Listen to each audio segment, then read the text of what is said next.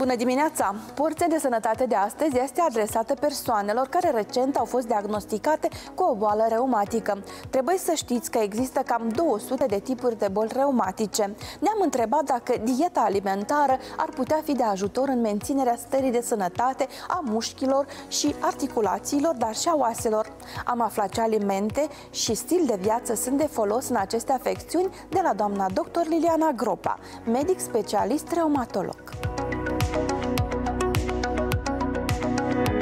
Maladiile reumatice se ameliorează pe fond de o dietă vegetariană, fiindcă toate produsele animaliere sunt sursă de anticorpi, iar anticorpii și mai mult sensibilizează țesutul conjunctiv și duc la progresarea proceselor inflamatorii și destructive. În afară de aceasta, produsele animaliere duc la acumularea acidului uric și avem hiperuricemie și avem așa boală gute. În această boală, în general, se exclud toate produsele animaliere. Totuși, ca să ai articulații sănătoase, ca să duci o viață îndelungată, este necesar să folosești mai multe legume, să folosești mai multe fructe, terciuri, semințe, chiar aceeași semințe floare soarelui conținem deci, și microelemente, special calciu, care este foarte necesar pentru oase, să, să ai oase sănătoasă. Și nu numai, eu tot timpul vorbesc despre soia, care crește și la noi în Republică, ar trebui să o cultivăm, deoarece ea are, conține mult calciu.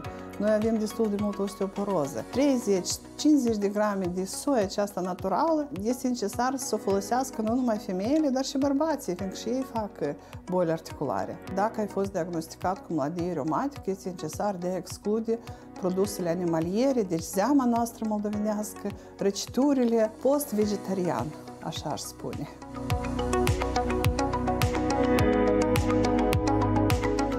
Dragilor, rețineți, alimentația corectă poate juca un rol esențial în diminuarea frecvenței și intensității simptomelor bolilor reumatice. Țineți cont de sfatul medicului dumneavoastră curant atunci când vă indică o schimbare radicală a modului de a vă alimenta. Ori, pe lângă medicamente, alimentele potrivite vă vor ajuta să trăiți mai ușor cu aceste afecțiuni. Final de rubrică, să aveți o zi frumoasă!